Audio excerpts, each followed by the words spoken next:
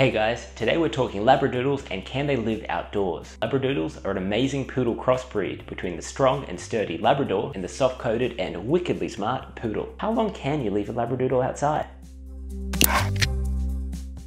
Labradoodles reign supreme as the number one poodle mixed breed over the last 14 years. We love our Labradoodle Max, He's a very social dog and he loves being inside with us. Ours is a super tiny miniature Labradoodle, but some Labradoodles can be really quite sturdy and quite large. In fact, a standard Labradoodle can stand as tall as 21 to 24 inches high at the shoulder, 50 to 58 centimeters. That's a really big dog. Because Labradoodles can be so large and sturdy, people often ask, can a Labradoodle live outside? Okay, so it is true that Labradoodles do spend a lot of time outside. They're very active breed. Most Labradoodles require at least 30 minutes of activity every single day. Some Labradoodles actually need an hour of active play to tire themselves out. But can they live outside permanently? Well, the answer is tricky and really depends on a few different factors. In general, no. Labradoodles cannot live outside permanently. You can leave your Labradoodle outside for a couple of hours, but never for an extended amount of time. In fact, many vets and trainers actually say that leaving a companion dog outside for any extended period of time is actually pretty mean to the dog. The reason that Labradoodles can't live outside is because they're a very social breed. They need daily, frequent interaction with humans. Labradoodles are famously family friendly. Warmth and love Labradoodles have for their family is a real strength. It's also kind of a weakness because Labradoodles do suffer from separation anxiety. Highly social animals like the Labradoodle are pack animals. It might be a bit of a stretch to think of a Labradoodle and compare it to a wolf, but the pack mentality that wolves have has stuck with Labradoodles even to this day. We are the pack for our Labradoodle dog. We are the leader of the group and they're part of our family. This social dependency is the primary reason that no Labradoodles cannot be left outside. I will say, there can always be exceptions where a dog is a hunting dog or there's a bunch of dogs that live outside together or you might just have a very unique Labradoodle that loves being outside but the general rule is Labradoodles cannot live outside. They do not particularly like living outside. They can be outside for a while but never an extended period of time. So if you are going to leave your Labradoodle outside, it's probably only going to be for a couple of hours. You need to prepare the following to make sure that your Labradoodle is ready for its time outdoors. You need adequate water to suit the climate. You don't mm. necessarily need to put food out because we don't want to overfeed the dog and if you're only going for a few hours, it's best to stick with the regular feeding schedule. You need to make sure that there's nothing that the dog can eat or any physical hazards in the area. You're also going to need a shelter to suit the climate. So if it's sunny, you need a sunshade. If it's rainy, you need a rain shade.